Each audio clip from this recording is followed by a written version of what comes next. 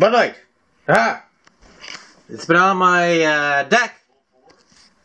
The deck out there for three weeks because I put it out there to chill it, and I think I accomplished it. so I'm gonna open it up, see if it's gonna work.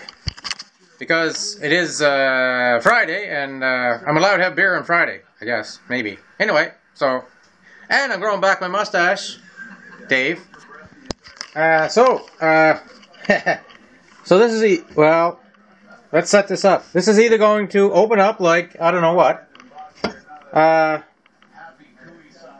uh, I'd say it's going to open up like Hillary uh, Clinton's head uh, on election night when she lost. Or at the same time, uh, Donald Trump's head when he realizes he might be in over his head.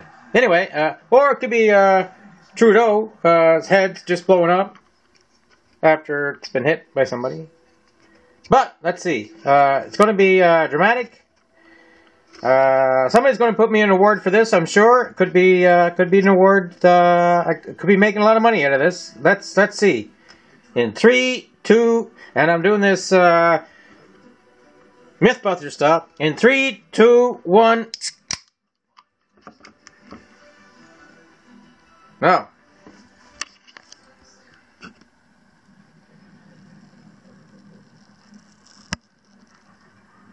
Well, that was that was anticlimactic. That was anticlimactic as my wedding night, but pretty well. Well, well, after three weeks in the cold, it only takes a little over an hour to thaw out beer. Now,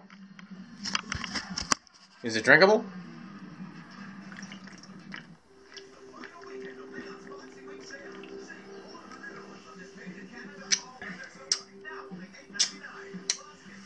Well, I actually had a beer before this, and it was good beer. And, uh, I mean, good flavorful beer. It's not bad. No, it's, it's good beer, yeah. Even though it was froze, and it was froze when I brought it in. I think, well, it was icy. Anyway, uh, yeah, so living on the edge here in Gowan PEI. On a Friday night, 1047. Uh, usually on Friday nights after 10 o'clock, uh, my mom's not watching Facebook, so I can post anything I want.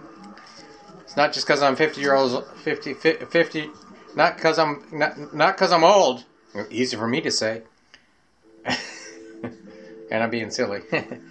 well, after one beer and uh, a couple of mouthfuls, now I can watch TV and uh, get on with life.